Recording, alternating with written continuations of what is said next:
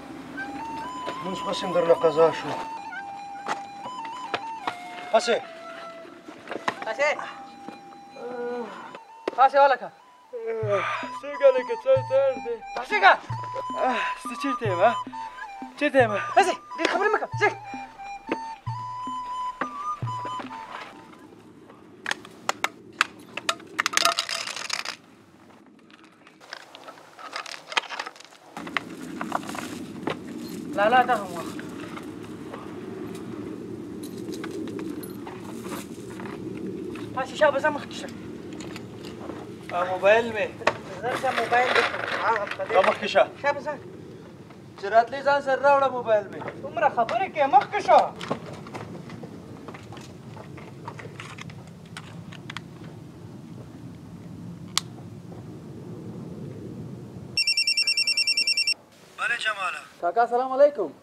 ته چیرته یې اوس درته ما تلیفون کوم زه د ولسوالۍ زندان ته روان یم ما ویل که ته د بابا لیدو ته ځې چې دواړه یو ځای لاړ شو نه نه ته ورشه زه اوس بل چېرته روان یم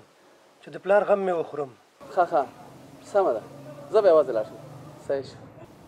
خدای په امان.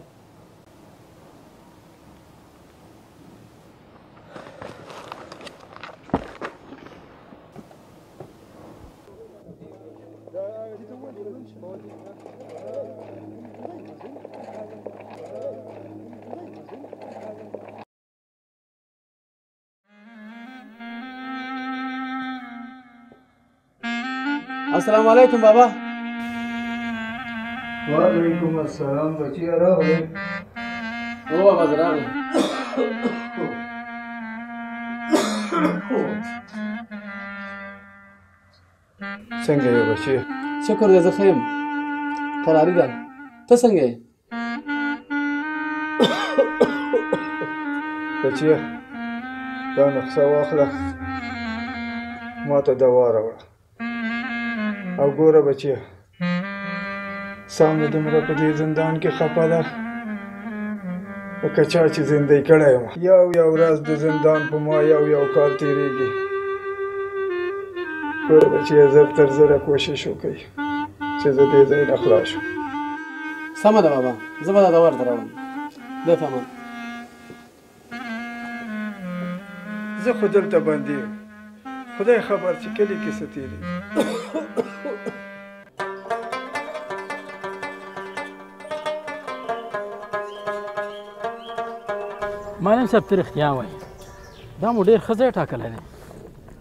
په نورې پیسې مې لاس ته راغلي زړه مې دی چې یو ښه لوبغالی هم درته جوړ کړم رئیس صاحب خدای پاک دې تاسو ته د خپل خدمت توفیق درکړي موږ ډوره ځمکه هم لرو ها نو دا خو ښه زیری دی راباندې وکړه چې تاسو د ښوونځي لپاره دومره ډېره ځمکه لرئ خو ځمکه خو ډېره لرو خبره په دې کې ده چې موږ د ښوونځي لپاره ودانۍ فکر مه کوه معلم صاحب داسې ښوونځی به درته جوړ کړم چې دعاګانې به راته کوئ او ستاسو د کلي کلینیک هم ما جوړ کړی و رئیس صاحب دا چې دا ښوونځی ستاسو د شرکت له خوا د جوړېږي زه ډاډه یم چې دا به ډېر ښه جوړ شي معلم صاحب ستاسو خبره په ځای ده خو تیر ځل د دې کلي یو ځوان د کلینیک په کارونو باندې انتقادونه کول هسې نه چې دا ځل د ښوونځي په کارونو کې مشکل جوړ کړي رئیس صاحب تاسو د خپل کوئ ضرر به خپل کار کوي موږ به هیچا ته د دې حق ورنکړو چې ستاسو په کارونو کې مداخله وکړي که نه قانون خو شته دی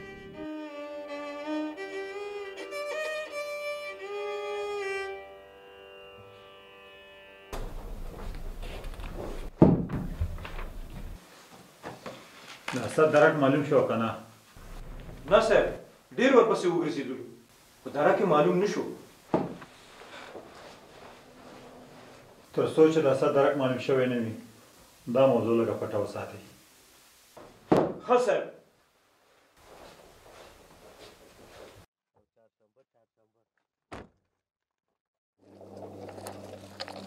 په ادارو کې څوک د چا سره یوه خبره بې پیسو نه کوي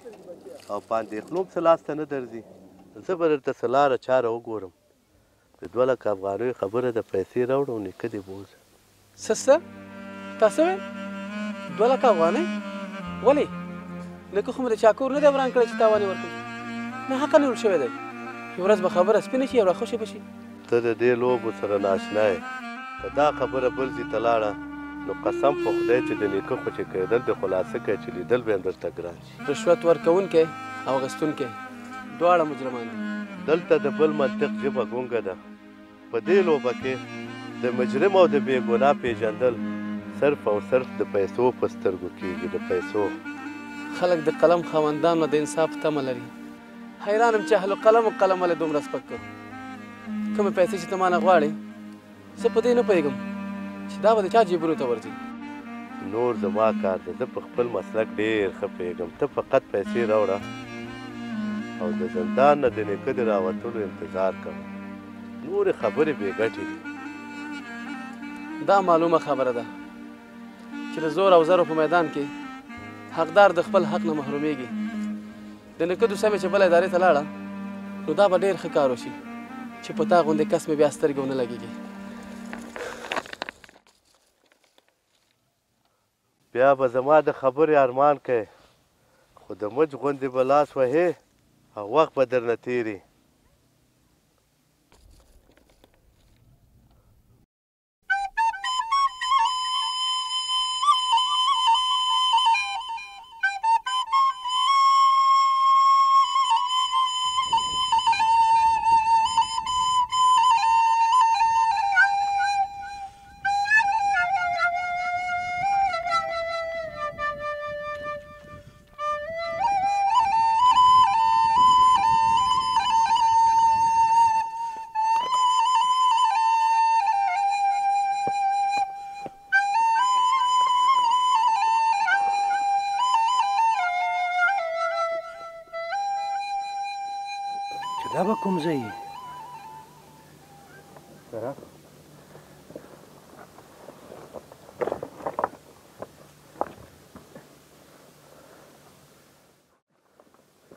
او خدای دې خیر کې لکه چې لار هم غلطه کړه ښه ته دی کاکا ته راکه ده اوخو خو دا لکه چې ورکستان دی یو هم پکې بلد نه یو لکه چې ورک شولو احتمال راکه خیر دی احتمال ته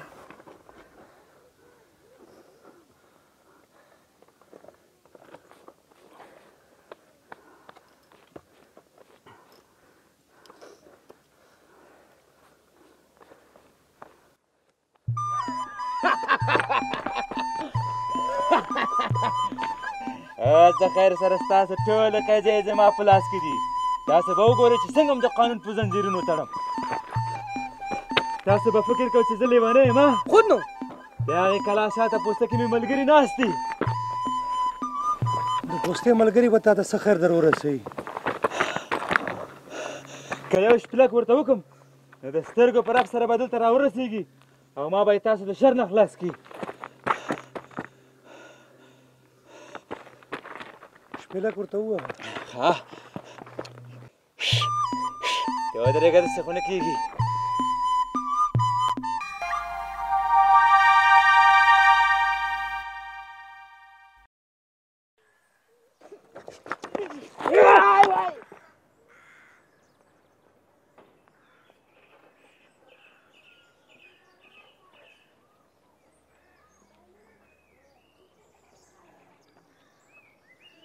معلم صاحب السلام علیکم وعلیکم سلام په خیر علي جمال ستړی مې شي څنګه مریض خو به نه نه لږ سر مې خوږېده ځان ته مې دوا راواغېسته ګوره جماله تا خو ډېر کوشش کوه چې دا کلینیک دې جوړ شي که نه مګر اوس دې ولیدل چې دې کلینیک کلیوال ته څومره ګټه ورسوله اوس خلک خپل ناروغان د ولسوالي کلینیک ته نه وړي بلکې په خپل کور کلي کې خپل کلینیک کې دوا درمل ترلاسه کولی شي معلم صاحب که ما غوښتل چې دا کلینیک جوړ نه شي نو نن به دا کلینیک دلته موجود نه وای ځکه چې ځمکه ورته ما ورکړې ده اصلا زه خو د ودانۍ ناسم کار ته خفه وم کلینیک خو جوړ شو، نن سبا به له خیره سره د ښوونځي د جوړولو چارې هم پیل شي، که په دې کې هم انتقادونه زیات شول، نو په دې پوه شه چې هم به د کلي ماشومان بې سواده پاتې شي او هم به بې تعلیمه پاتې شي. زه پوهېږم چې کلی ښوونځی نه لري، خو زړه مې دی چې د کار په ودانۍ کې پوره ونډه واخلم. زه سبا ښار ته ځم چې د نقد را خلاصولو لپاره یوه لاره وګورم، هلته به د ښوونځي د جوړېدو کره معلومات هم ترلاسه کړم.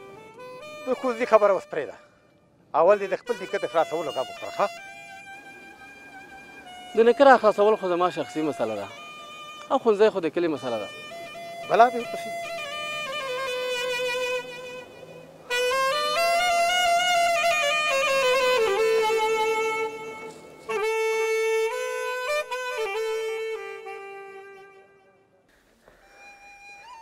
سلیمان لالا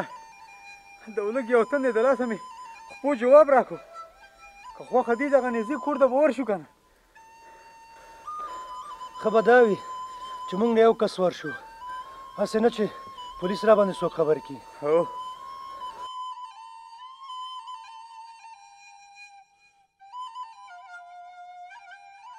والکانو دا اس اخلو جیبونه ولټو چې پیسې لرو او کنه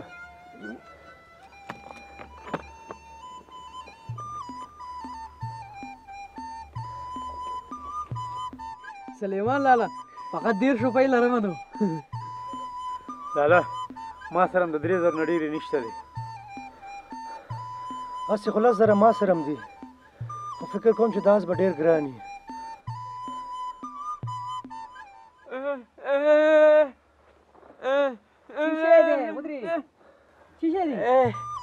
خیر دې ما نه مخلې زما درې میاشتې تنخواه ده کور دې ودان خیر دې ظالمانو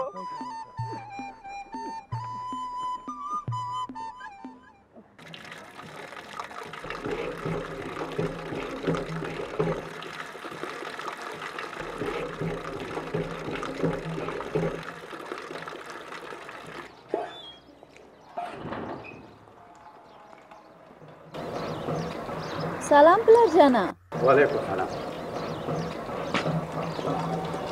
پلار جانا دا بیا ولې پریشانې زه دې جمال ته فکر وړم وای سړی دی د کلینیک په کار کې د جنجال جوړ کړی او اوس غواړي چې د ښوونځي په کار کې لانجه واچي او خنډونه ایجاد کړي دا خو د حقوقو نه فارغ دی زما اعصاب خراب کړ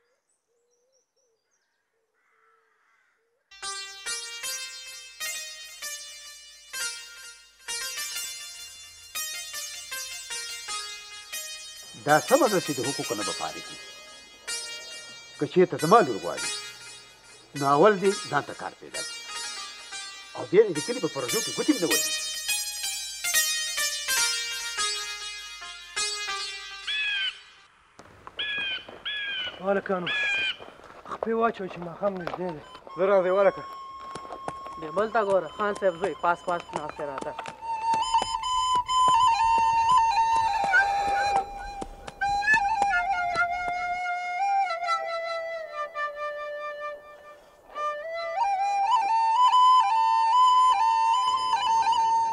هلکه شمسه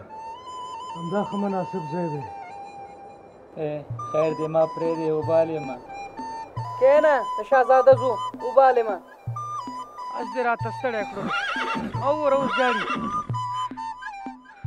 ته وایې چې د پلار اس دی دی پلار پکې مه یادوه زما خپل اس دی ول دا درې میاشت تنخوا مې رانه وانه خیسته اوبه هم نږدې دي همدلته باید دیره شو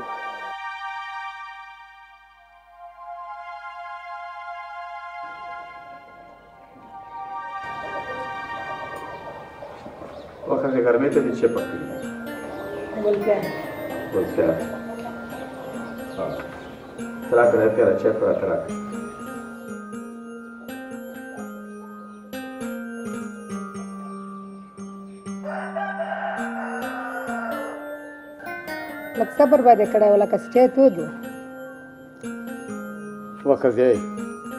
خوله به مې خدای جوړه کړي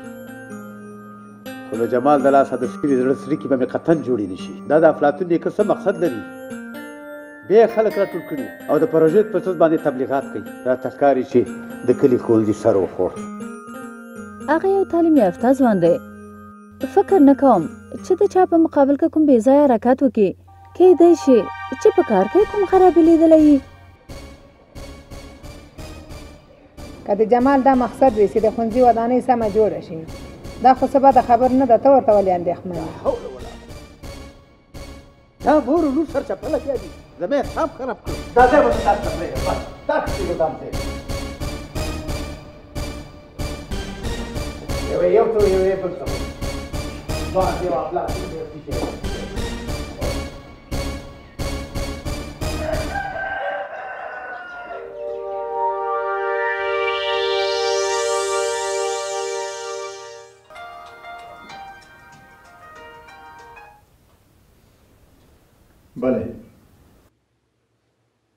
سمه ده دا منم چې اسد نادرکه دی د هغه په باب مونږ هیڅ بې غوري نه ده کړې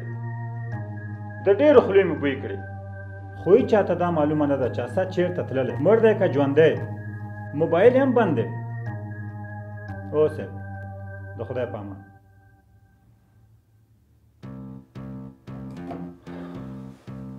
مونږ باید اسد په پیدا کولو کې دغه وسلې نه کار واخلو لاس تر زنه کې نه نو اس نه شه داغه غوندې یو بل پسې ورک شو سلام علیکم صاحب وعلیکم السلام سلام صاحب غوښتل مو چې سبا ته له خیره د کلي د ښونځي کار شروع کړو. د ښونځي جوړول او نه جوړول تا پورې ارتباط لري خو دا راته ووایه چې په دې کار کې زه درسره څه مرسته وکړم. صاحب هدف مې دا و چې په دې کلي کې یو خودغرض کس دی چې پخوا یې د کلینیک په کارونو کې خنډونه جوړ کړي وو اوس بیا راته نیغ نیغ کیږي او راز راز پلمې جوړې غواړي چې په دې کلي کې ښوونځی جوړ نشي نه پوهېږم چې دوی سره څه وکړم ته هېڅ فکر مه کوه کلي ته لاړ شه او د ښوونځي کار شروع کړه د کلي امنیت زما مسؤلیت دی زه به وګورم هغه کس چې تا ته څه ډول مشکل جوړوي مننه صاحب کور دې ودان کور دې ودان خو دغه زما د پانه ومني دې ته څه ضرورت و بل شي نشته لکه ګوړه ده د خولې خون به ته شي ها مننه خدای په مننه خدای په مننه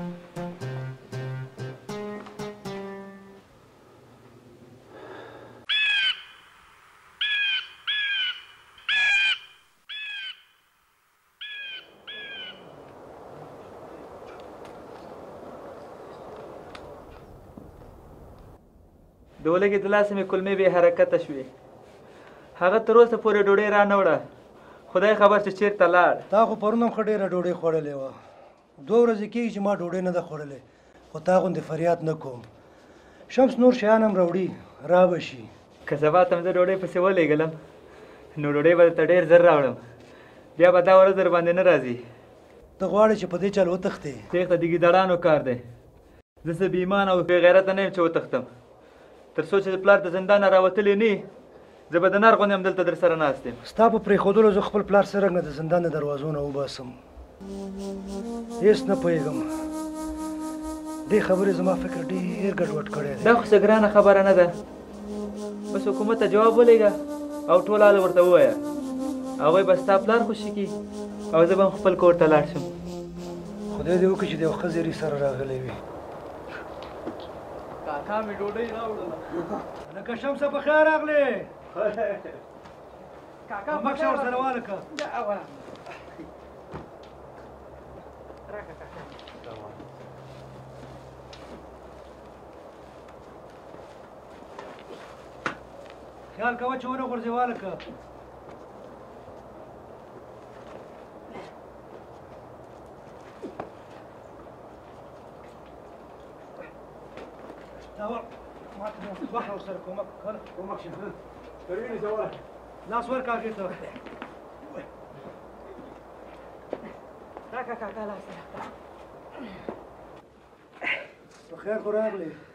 خیر دی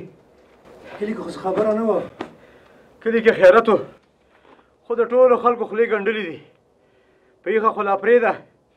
د دې موجود په باره کې چا په خوب کې هم د ثواب دپاره یو خبر راته ونه کړه دا سړی یا خو د حکومت بیخي په یاد نه دی او یې په مړو کې شمارلی دی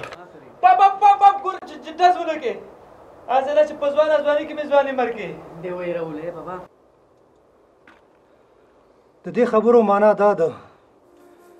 چې زه باید یو څو نور مرمړي هم غره ته راولم زمان لالا د یو بل ناخوال نه خبر کوم صمد د غریب سړي ځمکه په زور نیولې ده او بیا د ځمکې رسمي اسناد هم په خپل نوم باندې جوړ کړي دي د پیسو په زور باندې هر ناممکن کار ممکن دی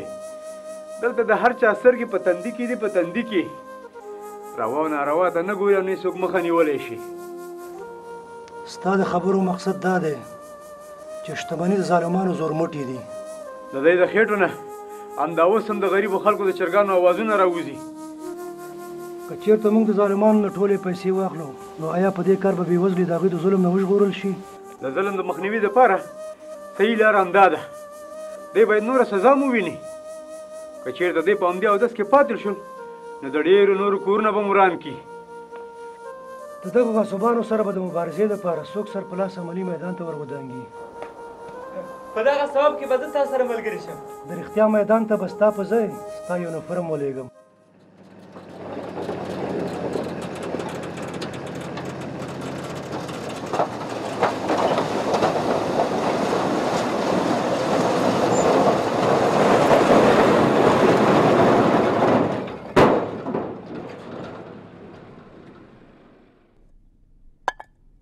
ولا چې خخته خو اوله درجه راوړله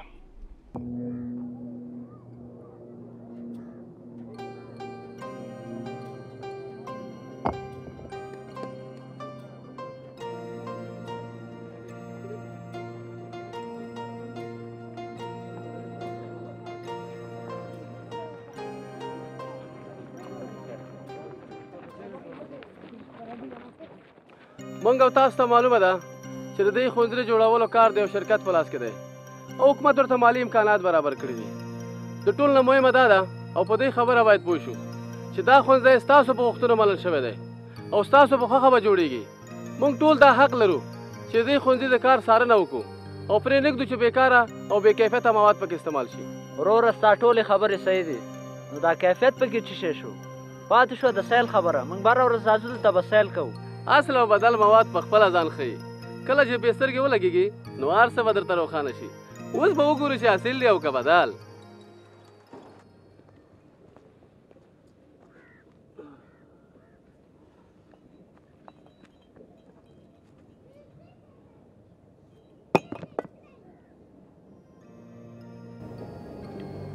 خخته خو مولې ده په خختو کې فرق نشته راځئ چې اوس سمټ او تیګه وګورو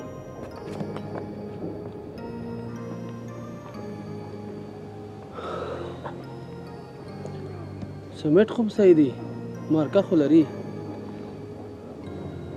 تیګه هم صحیح ده د غره ده د سیند نه ده مواد مو ټول ولیدل زمونږ اندېښنه رفع شوه اوس باید کار شروع شي جمال جانه خښتې سیمټ تیګه خو دې ولیدل بیا یې وګوره زما په فکر هغه ټولې پوښتنې چې تل تا سره وي انشاءالله حل شوي وي دی رئیس خو تر اوسه پورې یو کار هم سم نه دی کړی په هره پروژه کې به یې دویم او دریم درجه مواد کارول خو زه نه پوهېږم چې دلته یې ولې اصلي مواد راوړي په دې کې خو حتما څه مقصد لري رئیس صاحب دا ځل جمال د پروژې څارلو پسې ډېره کلکه ملا تړلې ده په کوم موادو کې لږه غلطي راوځي که نه کېدای شي د کار مخه ونیسي ته فقط د اولې درجې مواد کاروه نورې غم مه کوه دا خو صحیح ده رئیس صاحب نو دې کې زموږ څه ګټه ده کارونو کې د سر سپین شو خو په دې پوه نه شو چې زموږ ګټه او تاوان په څه کې ده په دې لوبو زه ډېر ښه پوهېږم ته اندېښنه مه کوه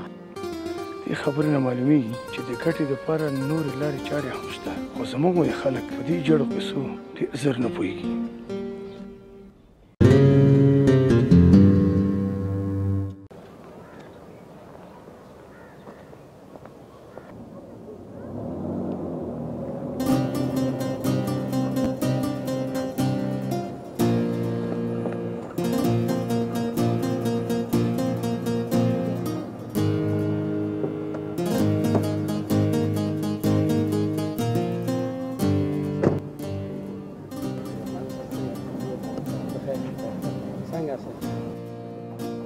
کارونه څنګه روان دي کارونه د کلیوالو په خوخه او د نقشې په مطابق روان دي صاحب معلم صاحب ستاسو څه نظر دی چې باید نور څه ترسره شي رئیس صاحب ما چې څه غوښتل هغه وشول ان شاء الله چې د کار په هکله به چا سره کومه پوښتنه نه پیدا کېږي کور مو ودان معلم صاحب اصلا ستاسو خوشحالي او بیغمي زما هدف دی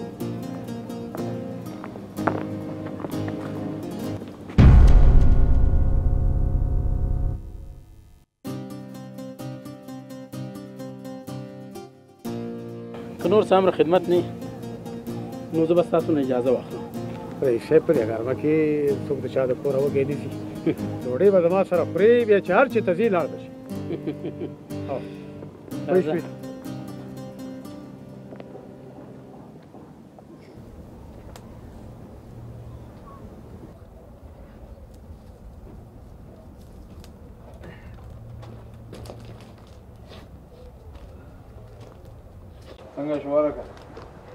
ای وروره خیر دغه درشي وباسه دولتي د مسؤلیت لري هسې نه چې بندي شم دا اوس موږ داسې د خسر کور ته د میلمستیا دپاره راوستی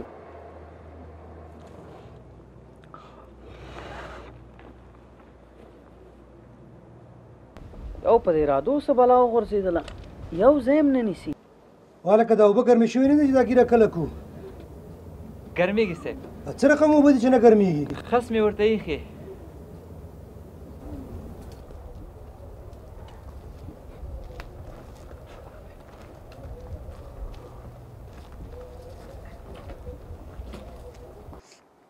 تا ولې د یو غریب سړي ځمکه په زور نیولې ده او بیا دې سمدستي ورته جعلي اسناد هم جوړ کړي ما د ګلجان اکا نه په زور ځمکه نه ده اخیستې هغه راباندې په خپله خرڅه کړې ده تاسو کولای شئ په کوز کندې کې چا نه پوښتنه وکړئ ډېرې خبرې مه کوه دروغ مه وایه دروغجنه ستا دا زیړې سترګې د ظلم شهیدي وایي زه دروغ نه وایم ما درته ویل چې ما سره د ځمکې رسمي سند پروت دی چې ګل جان اکا او د کلي څو سپین ګیرو پې ګوتې لګولي او بیا مې په ولسوالۍ کې ثبت کړی هم دی د سند جوړول څه سخت کار نه دی دې نه لوی لوی کارونه په پیسو شوي او کیږي خبره داسې نه ده لکه ته چې وې د هر یو کار خپله طریقه یی هر یو شی په پیسو نه کیږی خو زه نه پوهیږم چه تاسو مانه څه غواړی. محترمه زه به دی پوه کړم دوی ما او تا غوندی فاسدانو پسی ګرځی کله چه ونیسی دلته یی راوړی او پوستکی ترنه اوباسی. چه ته فاسد یی نو تا نه ولی پوستکی نه دی ایستلی. ولی وارخطا یی ستا نه به اوباسو. غلی شی تر څو چه توبه ونه باسی او د تیرو بدو کارونو جریمه ورنه کړی. همدا به د عمري ځای وي زه په خپل هم د فساد ښکار شوم تاسو ډېر د خیر کار شروع کړی دی خدای تاسو ته همت درکړي زه به د ثواب لپاره تاسو سره مالي مرسته کوم ما ته د ښار ټول رشوتخوارو بیمانه خلک معلوم دي که تاسو په رښتیا سره غواړئ چې دغه مظلوم خلک د هغوی د شر څخه خلاص کړئ نو زه تاسو سره ډېره مرسته کولی شم که ته موږ سره مرسته وکړې موږ به دی ونیسو او سمه لاره به ورته وښیو او که په سمه لار برابر نه شول د یو یو نه به پوسکې وباسم او عسکر ته به واغوندم خلک د هغوی د لاسه پوزې ته راغلي او که تاسو نه خبر شول چې داسې د خیر کارونه کوئ ټول به تاسو سره ملګري شي او تاسو نه به یو ښه قوت جوړ شي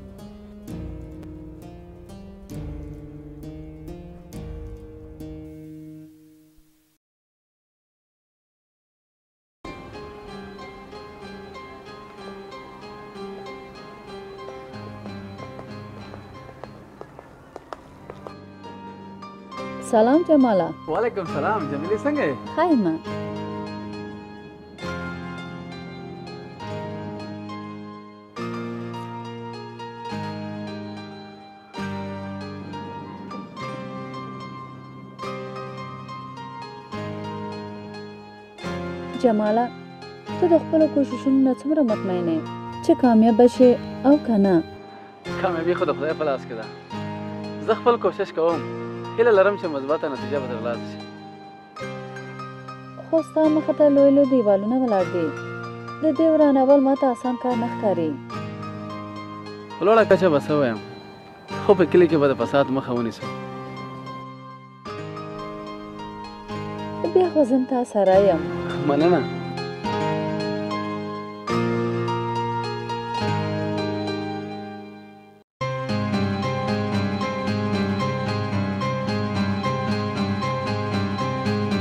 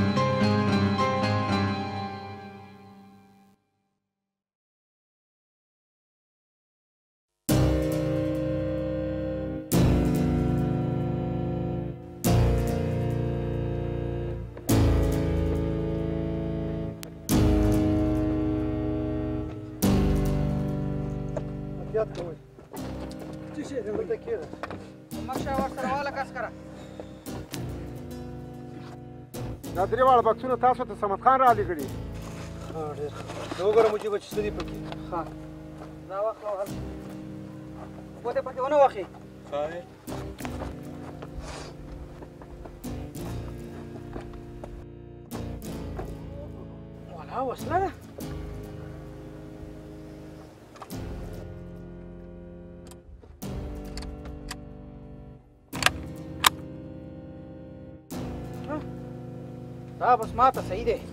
زما عمره دی ته عمره سر دی لږ ورکوټ دی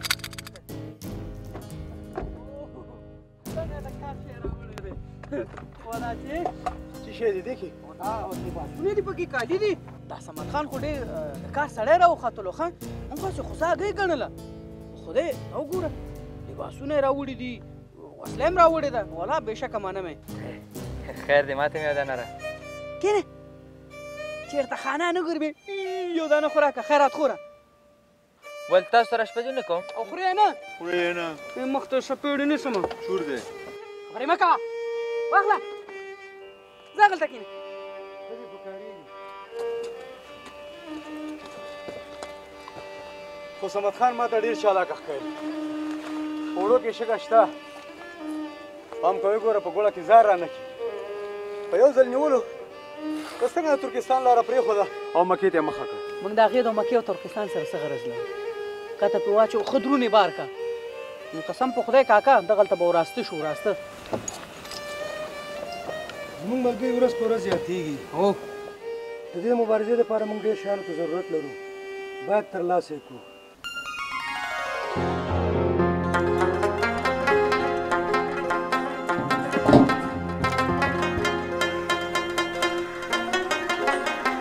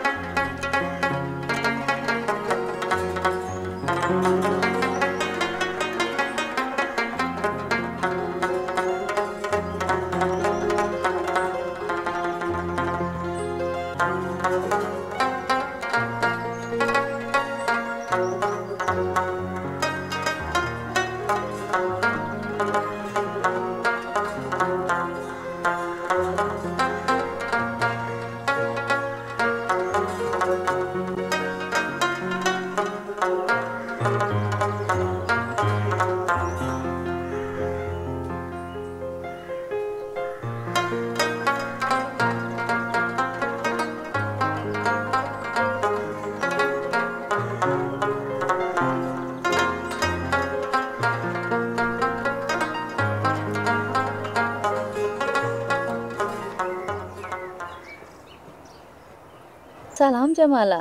وعلیکم سلام جمیلې څه حال دی ښه یم راځه تېر شه نه نه مننه اول ته را تېره شه راځه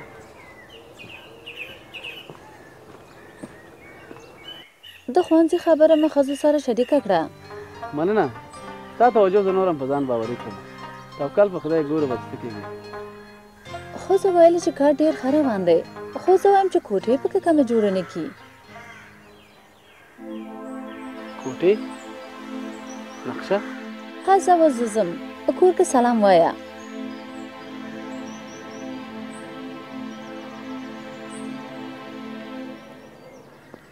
رئیس د پاره نه ویم ما په ډیرو ځایونو کې کار کړی دی په پروژو کې اوله درجه مال چا نه دی کار کړی هسې خلک ورپسې خبرې کوي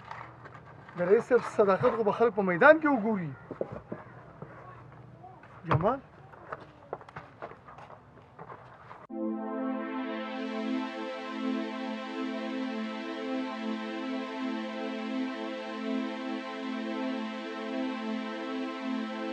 ګوره جمال جان تا چې څه غوښتل هماغه څه وشو تیږه اصلي خښته اصلي سیمټ اصلي ها ته شګه مې هم د سترګو وویسته خو ما پکې کوم غلط شی ونه لیده استاده خښتې سبېټ او تیږه زموږ د پښتنو ځواب نه دی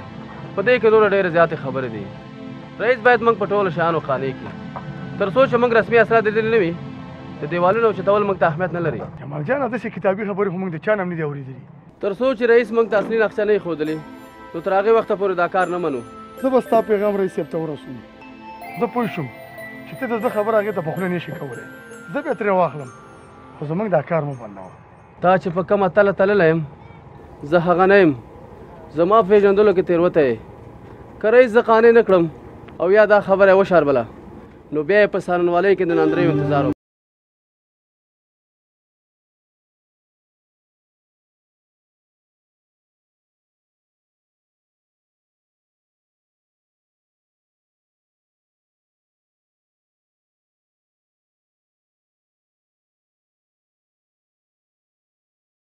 خدای دې در سره ښه وکړي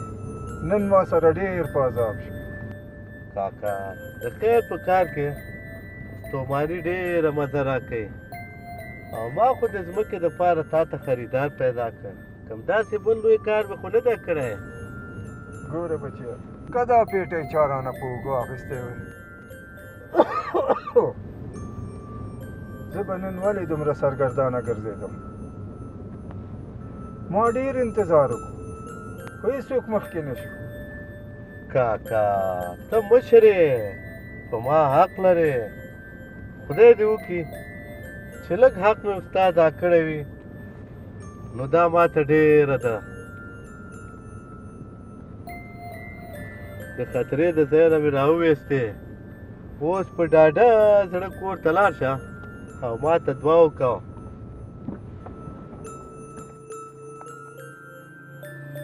خدای دې در سره ډېر ښه وکړي هوا هغه باقي پیسې دې وشمارل چې پوره دي او که نه هو بچیه ومې شماره پوره دي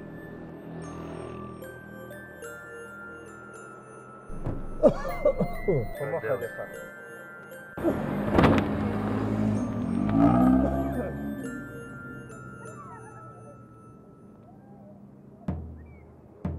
رئیس صاحب د اقتصاد موږ په کارونو کې ناغړي نه ده کړې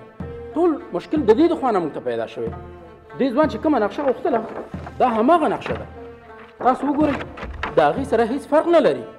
خو دی باید په دې خبرو باندې پوه شي چې د دفترونو اسناد څوک کلو ته نوړي بلکې په دفترونو کې خوندي ساتي وګوره ښې وګوره آیا دا هماغه نقشه نه ده چې له مخې موږ د ښوونځي ودانۍ جوړو بله دا هماغه نقشه ده که دا مهرباني د کار په شروع کې کړې وای نو خبره به تر دې ځای نه رسېده ما خو تا نقشه غوښتې وه کوم بل څه خو مې درنه وغوښتي دا اسناد اصلا د ډونر د خوا د اقتصاد وزارت ته ورکول کیږي د نظارت دنده وظیفه اصلا هغوی پورې اړه لري موږ پورې اړه نه لري زه هیله لرم چې رئیس صاحب هغه اسناد د ځان سره راوړی شته ما سره هم نقشه شته تاسو دغه نقشه دې نقشې سره وګورئ دې کې څه فرق دی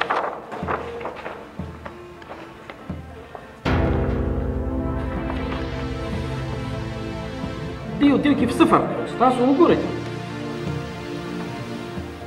دواړه نقشې یو شان دي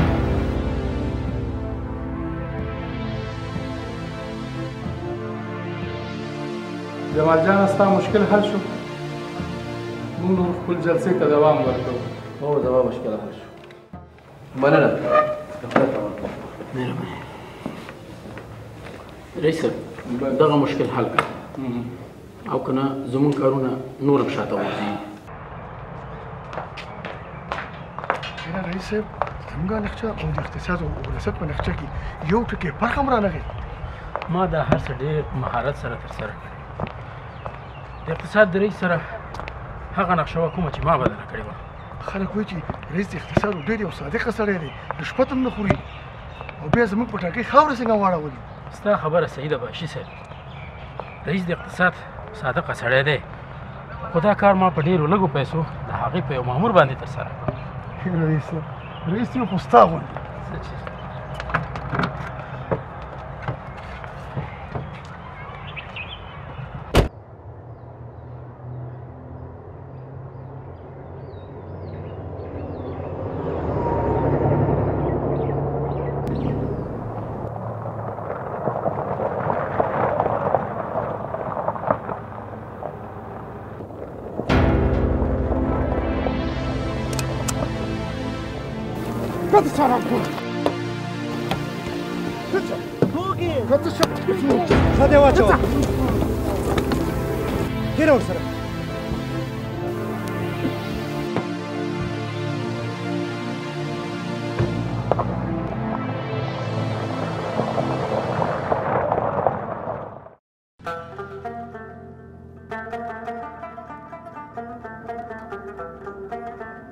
والا که څه څه شي خدای دې خیر کړي ډېر په پیړه کې معلم صاحب زه جمال ډېر وګواخلم چې کار بنه کې ودا کله پرېده خو ما دغه خبره مې څه خوګ نه کراو اوس راته وسلوال ګواخیږي کار د مینه پریږي تا ته معلوم نشو چې دا وسلوال د کوم کلی نه راغلی او څوک وو او د کار په بدلولو کې د دې څه ګټه ده هم د دې کلی دی معلم صاحب د بل کلی نه راغلی زه ځم چې رئیس صاحب خبر کوم په دې قصه مې دا سلیمان د ډېرې مودې نه را په دې خپه کلی کې نه معلومېږي هسې نه چې د وسلوالو سره لاس یو کړی نه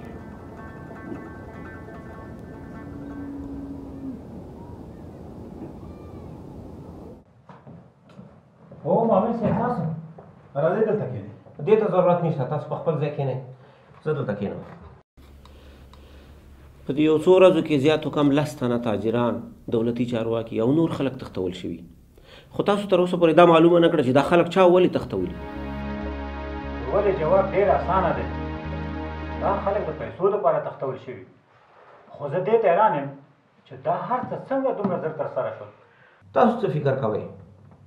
چې دا وسلوال به څوک وي؟ تر اوسه خو کوم ښکاره شواهد نشته چې دا به څوک وي. کوم خلک چې د وسلوالو له منګولو را خلاص شوي هغوی ولې د وسلوالو په اړه څه نه وایي؟ ښکار شوی ښکاري چاته نه ښیي. که هغوی ښکاریان دي نو پولیس هم باید خپله سینه ورته سپر کړي ته د دې ولسوالۍ معاون یې ولسوال نه خو دا خبره به زه ولسوال سره شریک کړم چې موږ دلته څه وظیفه لرو سمه ده ګورو به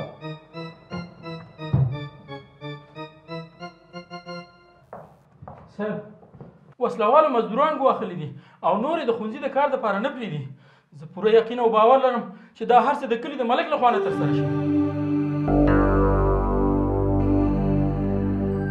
سلام علیکم ملک صاحب وعلیکم السلام چای اوس خیر اوسې مننه سلام علیکم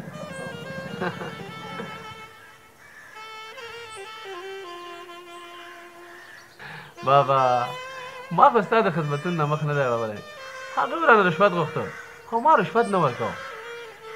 ګوره بچیه ته په خپل دې فکر کې تېروتی یې ته باید په دې پوه شې چې نیکه دې د تکلیفونو پېټی نه شي وړلی مور او پلار دې خدای وبخښي که هغوی ژوندي وی نو اوس به په ما ولې دومره سخته تېرېده بابا زما دا ټولو خبر ته ډېر ښه پام و خو رشوت زموږ دین او قانون دواړه منې کړی دی ما دا لوی دېوال نه شو ورانولی. ځه سمه ده، یو د قانون ډول غاړې ته واچوئ او بل د خیره ټوپک راواخلئ. ستا د خبرې مقصد همدا دی. سلام کاکا، سلام بابا. وعلیکم السلام بچیه. اوهوهوهوه. بابا مخکې شه مهرباني. بابا زه ستا په دا تېره خبره پوه نه شوم. کاکا مې څنګه وسلې ته لاس اچولی زه قانون ته د یو شان احترام پلوی یم او د همدې مقصد لپاره مې شپه ورځ په ځان یوه کړې خو په دې پوهېږم چې کاکا مې د وسلې نه کار نه اخلي سلام سلام علیکم دیواله بچي په خیر راغلی خیر د نصیب شه بیبي نن ډېره زیاته خوشحاله ښکاري او جماله بچې خوشاله بنې د خیره بابا دې را خلاص شو سلیمان هم د خیره راشي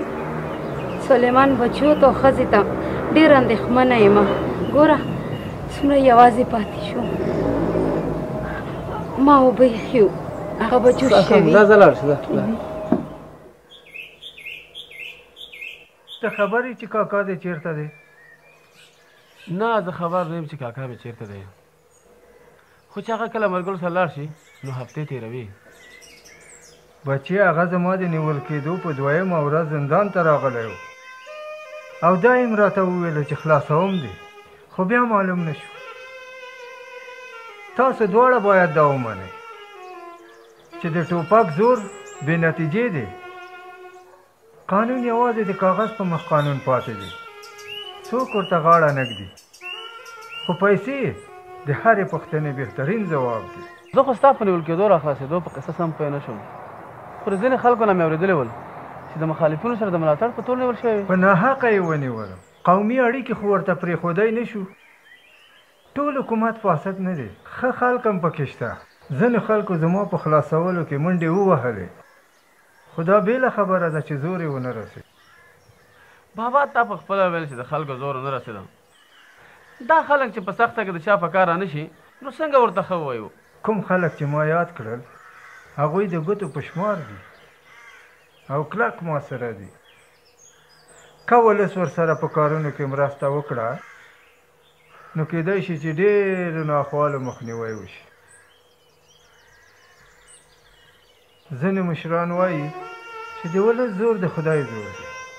تر ټولو ستر مشکل له خلکو پورته کول او د دې خبرې په ګټه پویول دي. دا یو حقیقت دی بچیه، موږ باید ناهیلي نه شو او خپل کوششونو ته دوام ورکړو. همدا زمونږ او تاسو د خلاصون او د خوشحالۍ لاره ده، خو لږ وخت غواړي. که د خلکو په پورته کولو وتوانېدم، نو ان شاء الله د ډېرو ناخوالو مخه به ونیسم.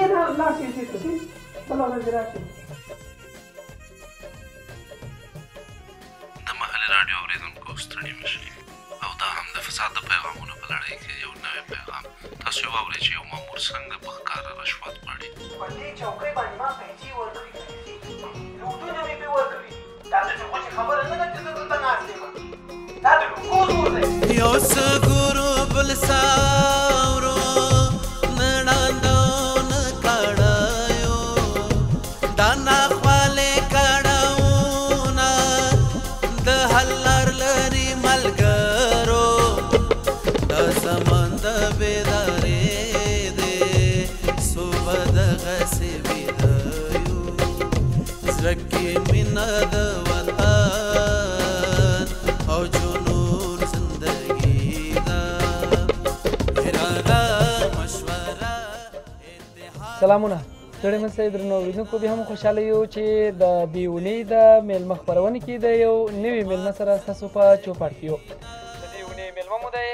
جمال خان تکړه ځوان چې په ټولنه کې د فساد پر ضد ډېری هڅې کړې دي په پیل کې خراغلا درته وایو او د لومړۍ پوښتنې په توګه اداري فساد به څنګه لمنځه یوسو مننه لومړی تاسو ته او ګران اوریدونکو ته سلامونه رشوت واسطه او درغلي هغه څه دي چې خلک پکې یو ډول نه یو ډول لاس لري که زمونږ خلک دغه ناوړي کار نه لاس واخلي نو فساد به پخپله له منځه لاړ شي دا کار څنګه ممکن دی خلک باید راپورته شي د حکومت د کارونو څارنه وکړي او د فاسدونو په وړاندې ودرېږي د هغې مخه دې ونیسي که هغه د کلي په کچه وي د ولسوالۍ په کچه او یا د ټول هیواد په کچه نو تاسو به د ولسوالۍ په کچه د فساد مخه څنګه ونیسئ موږ په ولسوالۍ کې د یووالي لپاره ډېر کار کړی دی. د فساد سره د مبارزې څارونکې ډلې به جوړې کړې دي. سبا به د ولسوالۍ په کچه یو لوی لاریون لرو او دا لاریون به تر هغه پورې دوام لري تر څو چې د فساد جرړه د بېخه وباسو. که دا خلک مظاهرې ته یو ځای راووتل، داغ به وطن په سر راواخلي، ایا موږ د دې توان لرو چې مخه یې ونیسو؟ ته هېڅ فکر مه کوه، د دوی کنټرولول زما مسوولیت دی. اړتیا پېښه شوه چې زور له لارې به یې مخه ونیسم خو یوې خبرې ته مو پام وي چې موږ د خلکو خدمتګاران یو او د مسولیت له مخې باید د خلکو په وړاندې د زور د استعمال څخه په کلکه ډډه وکړو او بیا همدغه خلک دي چې ته پې قومندان یې که دا خلک نه وي نو ستا بادشاهي به ګډوډه شي که د مظاهرې په جریان کې خبره ګډه وډه شوه نو دا راته ووایه چې بیا به ورسره څه کوو وایي چې په زور کلي نه کېږي د دې مشکل دایمي حل ښه حکومتولي ده نه د زور څخه کار اخیستل او بیا په کوم مناسب ځای کې چې ستاسو زور ښکاره کولو لپاره اړتیا پېښه شي بیا نو په هغه وخت کې ستاسو پښې رپېږي نه پوهېږم چې ته د دولت استازی یې او که د ملت زه د دولت استازی یم خو د ملت خادم هم یم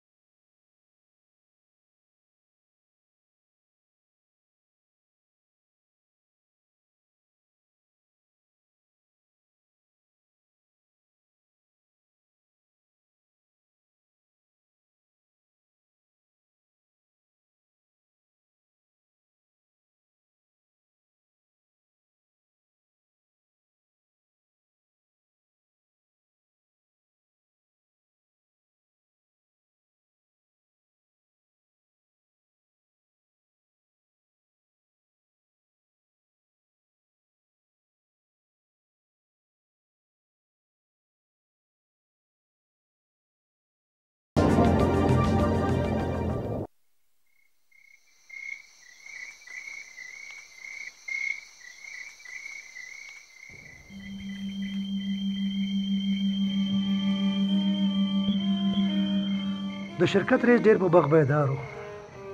حیران یم چې ولې د لاسه مو ووت هغه باید اوس زموږ په منګولو کې وای د شرکت رئیس د مظاهرې د بدنامولو لپاره څو کسه لمسولي اوس موږ په دې نه پوهېږو چې دا به څوک وي د دغه کسانو پیدا کول او نیول موږ ته ډېره ګرانه خبره ده مجیبه دا نقشه خو لږ راکړه نقشه تا کړه ما دا اصل اصل نقشه مې درکړې راوړه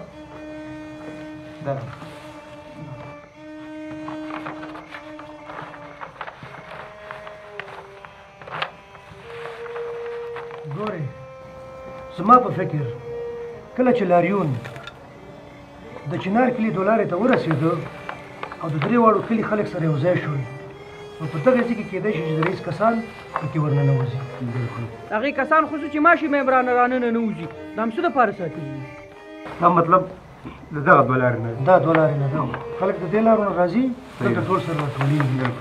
او دې ځای نه په دې لوري روانېږي صحیح دی نو کېدای شي چې د دغه لارې نه دا خلک راشي دلته ځان پکې داخل ځان پکې داخل کړي نو پلان همداسې باید وي موږ په دغه ساحه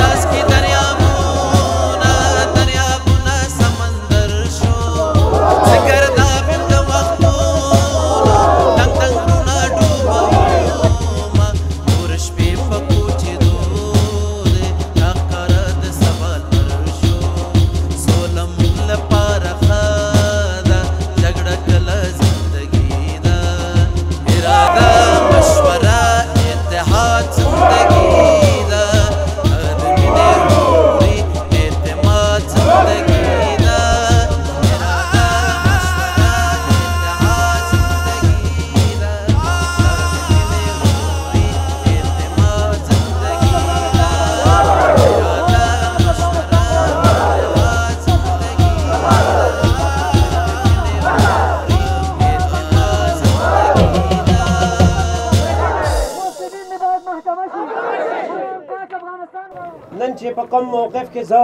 ولسوال صاحب او د دولت نور استازي قرار لرو ټول زموږ د پاره د پریشانۍ باعث شوي خو په دې یو خبره ډیر خوشاله یم چې خلک د اوږده خوب نه راویښ شول او د فساد پر وړاندې نن د خپل ټولنیز حق څخه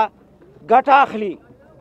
د اصلاحاتو راوستو لپاره غږ پورته کول ستاسو حق دی تاسو د پروژې د کارونو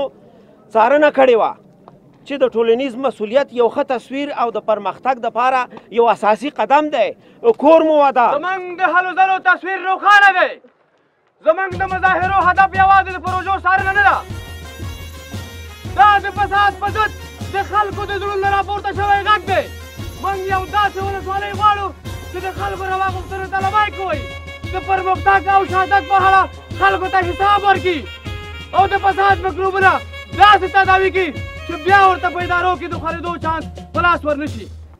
د خپل ولس سره خبرې شریکول د حکومت او ولس ترمنځ د همغږۍ او خپلوۍ یوه ښه وسیله ده خو همدارنګه خلک هم باید د حکومت خبرې ته غوږ ونیسي په شریکه سره ستونزې په ګوته کړي او بیا د هغې نه وروسته د هغې دپاره مناسبې د حل لارې چارې ولټوي کله چې حکومتي مسؤلینو د زړه د تل نه د خلکو خدمت ته بډې ووهلې او د بادارۍ ریشه د سر نه لاړه ولس او حکومت به په خپله سر نږدې شي دا د موجوده لرېوال لپاره یو ښه ځواب دی زه د فساد پر ضد ستاسو د هر حرکت ملګری یم زه به ستاسو پرېکړه لیک مسؤلینو ته وسپارم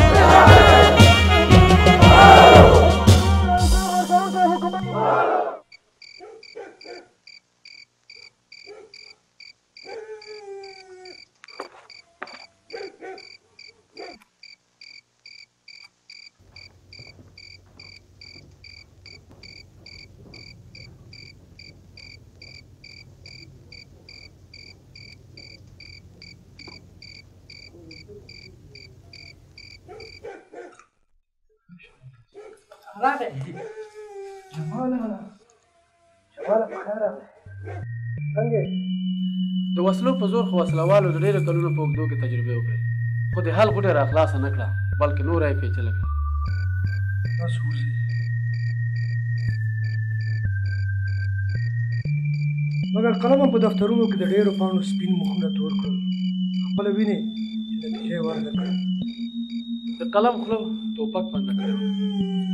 کارول زکه ډیر ګټور نو زه نه پوهیږم چې قلم د خو خلکو په لاس کې نو او که د ټوپک په خلو نورې خبرې وشوې چې ولس ته یې ګټه ونه رسي خو خیر ښه به دا وي چې هر څوک د خپله لاره وپېژني بابا مې راخلاص شو موږ په سوله ییز شکل خپل کوششونه شروع ان شاء الله چې په ولسوالۍ کې به د فساد مخه ونیول شي ته نو راشه کلي ته بابا مې درپسې ډېر خفه دی او دنیا خو مې درپسې سترګې وړندې شوې د مبارزې لپاره دې یوه بله لاره ولټوه کومه لار تا انتخاب کړې هغه ما ته ګټوره نه ښکاري جماله اوبه د ورخه تېرې دي زه اوس درتلی نه شم او بیا ما ته معلومه ده چې پلار مې په رشوت ګس شو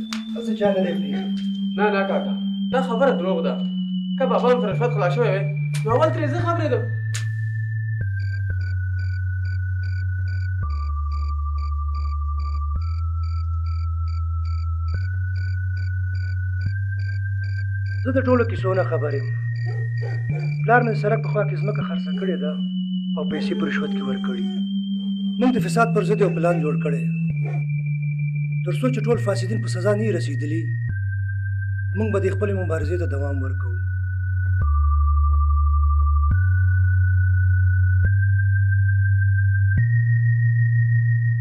ها رښتیا د ښوونځي مسله څنګه شوه نقشه خو یې راته وښوده خو زه فکر نه کوم چې دا نقشه صحیح وي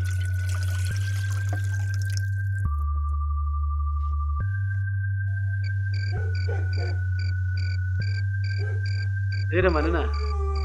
که دې خوښه یي دا ځل به سم وګواښم خپله به لارې ته راشي نه نه کاکا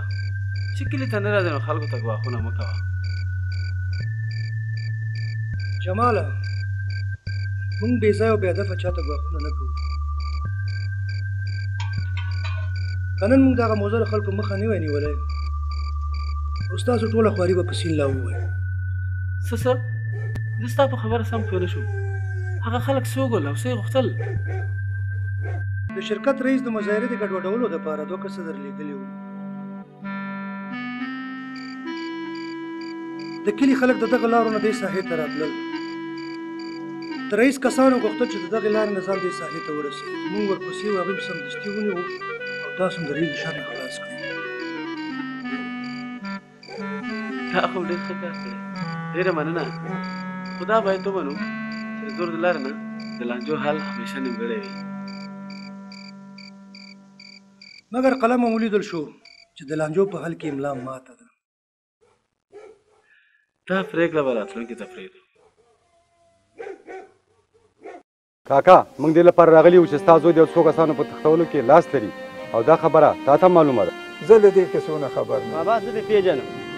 چې ته یو وخت موږ سره بندي وي او اوس موږ په تا شک لرو چې ته خپل زوی سره لاس لري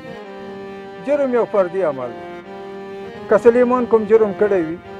تاسو د قانون په چوکاټ کې حق لرئ چې ویې نیسئ خو زما د پازابولو حق نه لرئ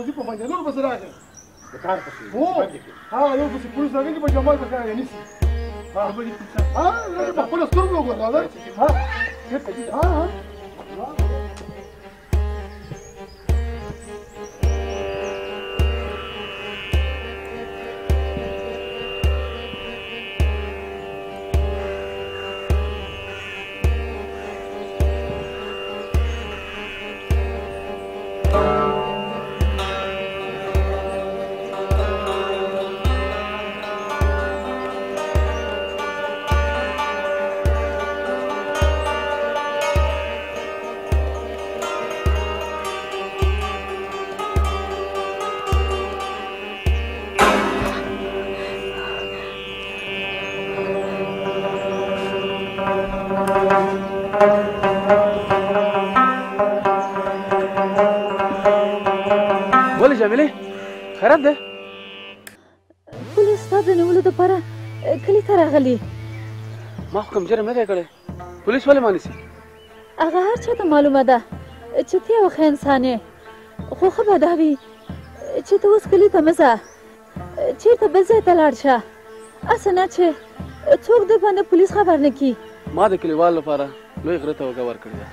او هغه را سره واده کړی دا چې ظلم او فساد په وړاندې به ټول درېږو زه باور لرم چې هغه په سخته کې ما یوازې پرې نه دی تر څو چې خلک خبرېږي او بیا راټولېږي ښه به دا وي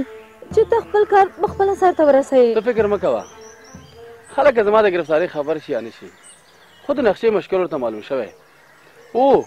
نن په ولسوالۍ کې یو ستر لاریون راوځي. کېدای شي د همدې مظاهرې د مخنیوی لپاره ما ګرفتاروي. پلار به ویل د شرکت او اقتصاد د ریاست نقشې یو شان دي او هغه دواړه تا لیدلي. د اقتصاد رئیس په خپله د شرکت په نقشه شکي و. خو اوس موږ اصلي نقشه ترلاسه کړې ده. زموږ شک سم و. په اصلي نقشه کې شپږ صنفونه دي او دې درې جوړول. دا خو د فساد یوه بېلګه ده. نور داسې ډېرې پروژې شته. خو موږ به تر هغه پورې خپل هلو ځلو ته دوام ورکوو تر څو چې بدلون راولو والله که په قراره کینو. خو که ته بندي شې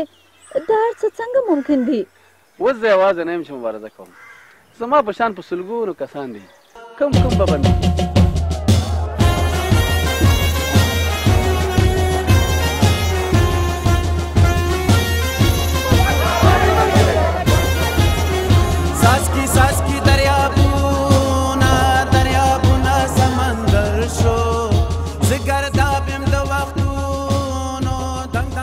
دا هڅې او پاسونه دوامدار شو جمال دا ثابته کړه چې د خلکو یووالی بدلون راوستی شي نو ځکه یې د کلیوالو او عطا معلم صاحب ملاتړ هم ترلاسه کړ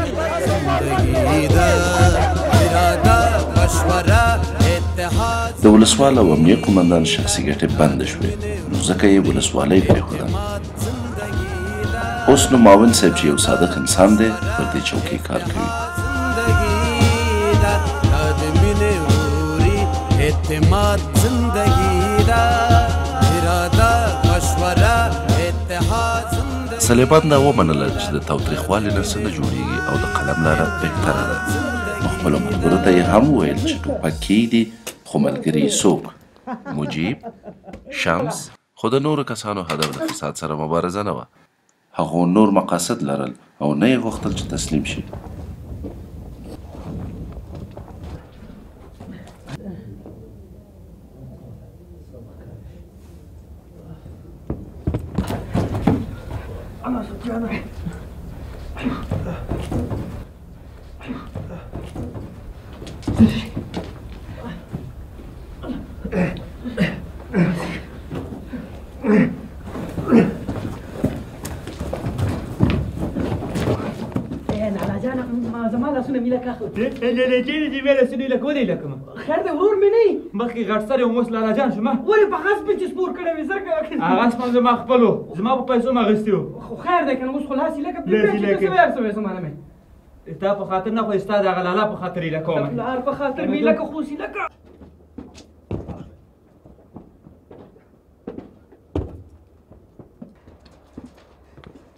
څه شوي ده اغلي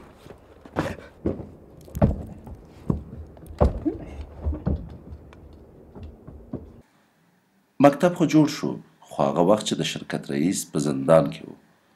او دا هم سباوون د جمیلې او جمال زوی اوس نو د هماغه مکتب زده کوونکی دی جمال اوس هم خپلو مبارزو ته دوام ورکوي او د هغې په شان سلهاو کسان دي چې دا مبارزه پر مخ وړي. اوس نو مفسدین د دې خلکو نه ډارېږي. الله دې موږ ته توفیق راکړي چې له خپل ایمان او وجدان نه ولاړ شو او د فساد سره په مبارزې کې کلک دریځ ولرو.